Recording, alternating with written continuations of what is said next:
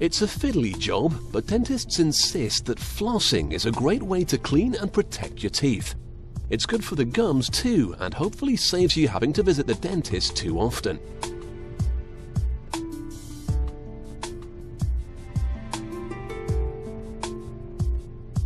Originally, dental floss was made out of silk, but the stuff your local chemist stocks these days is a little less exotic. Modern floss is actually made out of plastic beads.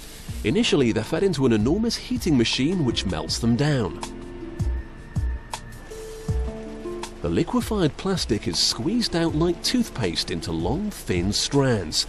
Dental floss is supposed to be unbreakable. To achieve this, the fresh floss is now stretched. As it passes around all the spools and switchbacks, it's pulled faster and faster, eventually reaching 120 kilometers an hour.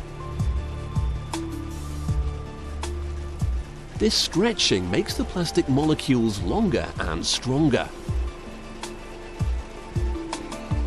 Ideally, the result is super tough, unbreakable dental floss perfect for removing food from between your teeth. This factory alone produces 15 million meters, yes that's 15 million meters of floss every single day. Once it's been adequately stretched, it's put onto these large bobbins. There's enough floss produced in this factory to help keep the whole of Britain free from painful gum disease, but research suggests nearly a quarter of us never floss at all. For those that do, the bobbins are now loaded up onto this enormous machine. The floss may be strong, but if it's headed for the nooks and crannies of people's mouths, it needs to be hygienic too. First, it's washed. This both cleans off any unwanted dirt and coats the floss with a layer of wax, which helps it pass between tightly packed teeth.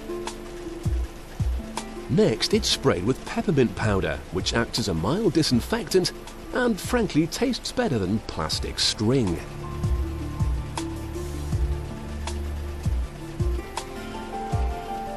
Then it's wound back onto the large bobbins, ready for the next stage of the production.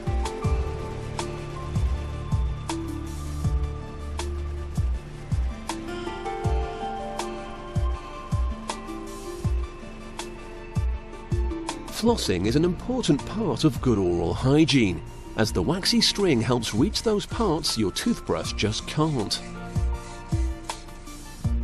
Using high-tech cameras and test equipment, the staff at this factory continually analyse other products on the market to improve their own. This test footage shows how the toothbrush just can't reach the green line, which represents the gums. This would be bad for your teeth. The benefits of the floss mean they can reach below the gum line, which is vital. The tiny gaps between the teeth are also difficult to reach areas.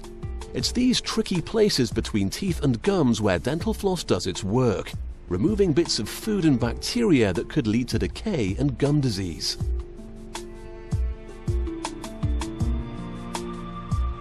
Back on the production line, hundreds of kilometers of freshly prepared dental floss are ready for packing.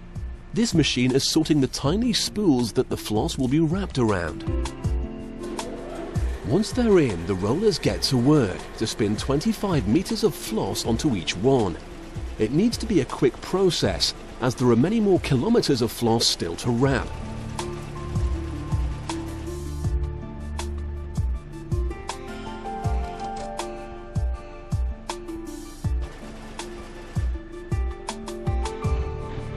Next come the cases.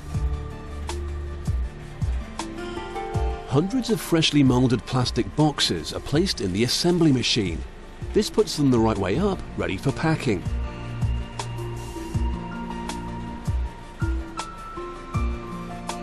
First, they receive an inner holder, and then workers on the production line insert a new roll of waxed floss.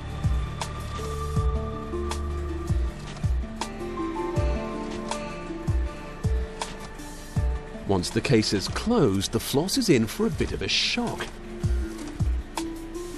The cases are electrocuted.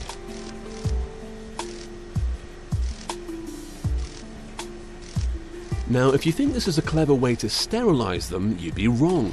The electricity oxidizes the cases. This helps the layer of ink carrying the company logo to stick onto the plastic. So that's the unraveled tale of dental floss. The super thin, super strong plastic ribbon that helps prevent disease and decay.